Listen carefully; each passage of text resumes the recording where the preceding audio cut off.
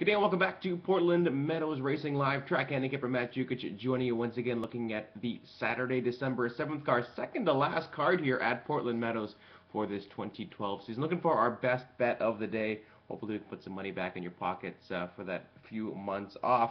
Let's go into the sixth race today. Let's try to get the four horse home here in Backwaduck.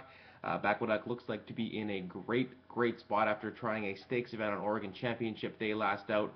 Only beat a length and a uh, quarter, or a length and a half, to Stop and Memo that day, who ran very well to beating the boys in her two previous races.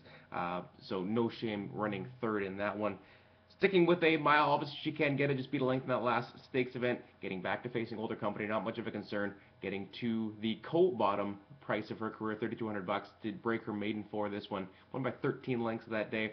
Never been worse than fourth in her career. She's been in the money five of seven times. Looks like a winner in this sixth race. Make our best bet of the day. That's Backwaduck in the sixth. That's the four horse. See if we can get lucky.